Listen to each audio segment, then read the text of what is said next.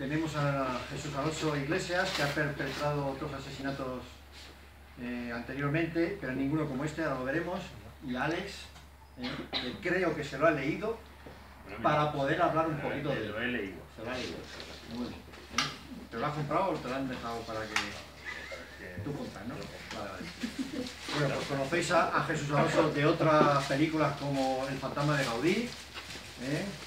Todos lo conocéis, eh, PDM, Paquete Mer, ¿vale?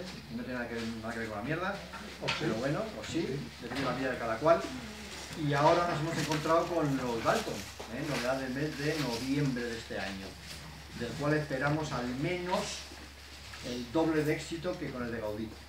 El de Gaudí lleva ya tres ediciones en la castellana, creo que son ocho idiomas, con lo cual, Gracias por, por estar aquí con, con eh, Ricardo y conmigo eh, para esta presentación Urbi et Orbe de, de los Dalton. Eh, la obra nueva de, de Jesús con el guionista Oliver eh.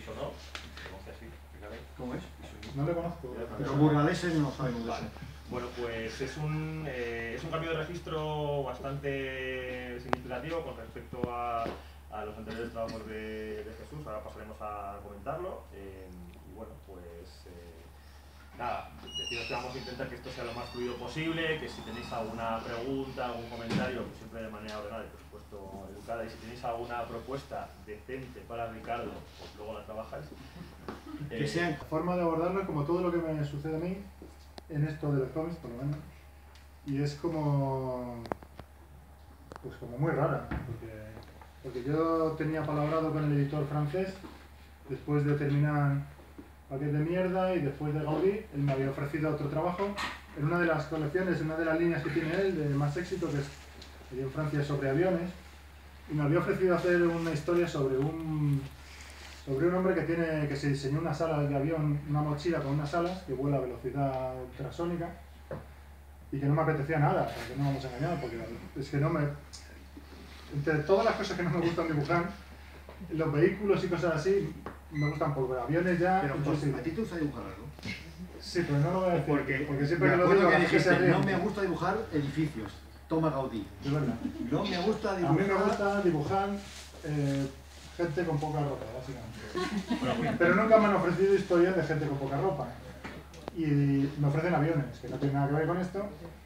Y bueno, pues por, pues por tener trabajo yo lo acepto, preparé unos primeros bocetos. de- el guion iba a ser de Jean-David Morvan y, y pasaron las ocho primeras páginas. Y yo dibujaba vaqueros de vez en cuando, y en mis cuadernos siempre dibujo vaqueros, que aparece.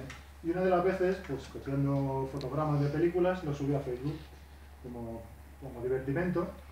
Y, eh, y al instante me llega un correo de mi editor francés que me escribe tu próximo cómic y un guion.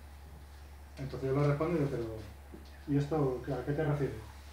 Y el otro dice, no, olvídate del otro, he visto tus bocetos y tengo un guion que te va a pegar.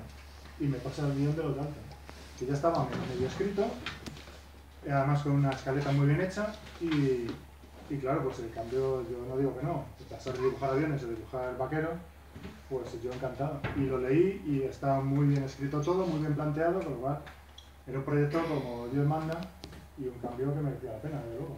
Curiosamente te metes de cabeza en una de las cosas que normalmente menos le gusta dibujar a los dibujantes que son caballos. Y tú aquí te has inflado Sí. con caballos. Dice, ¿no? Que lo más difícil son las manos y los Y caballos. los caballos. O sea, le preguntas a cualquier dibujante del Sí. mundo, no te digo ya español, y te va a decir que no me gusta dibujar caballos.